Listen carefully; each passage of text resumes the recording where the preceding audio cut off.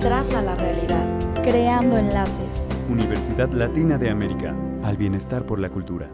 Por tercer día consecutivo, vecinos de la colonia Fidel Velázquez en el poniente de Morelia mantienen bloqueado el carril lateral de la avenida Madero en rechazo a la puesta en operación de un gasoducto que transportará gas natural desde la intersección del libramiento poniente a la colonia industrial. Somos todos que no estamos de acuerdo y sobre todo porque se ha metido a engaños a engaños desde que empezaron a trabajar, fue engaños diciendo que era cableado para cableado de luz, que era para el agua y el chiste que nunca se nos dijo la realidad. Los colonos argumentan que puede ocurrir una desgracia ante una eventual fuga del energético.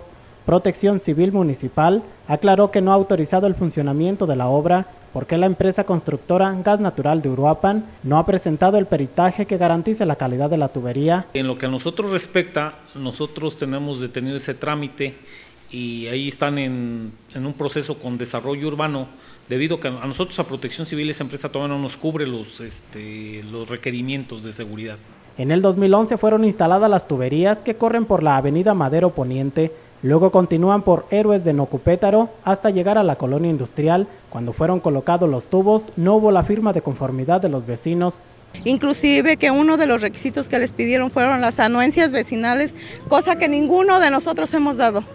La anuencia vecinal no la tienen, por lo menos. Y sabemos que de, así como no la tienen de nosotros, hay de algunos otros lados que tampoco la tienen.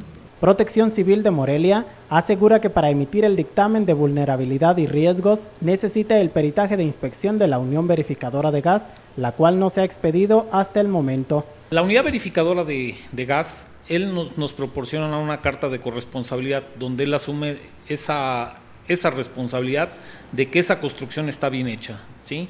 Entonces, ahorita yo no te puedo decir porque no tengo esa información en, mis manos. Los vecinos aseguran que no quitarán las piedras con cal que bloquean uno de los carriles por donde pasa el gasoducto porque temen que ocurra una desgracia. Dijeron tener la certeza de que la empresa constructora ha operado desde el principio a base de engaños para COSAR TV.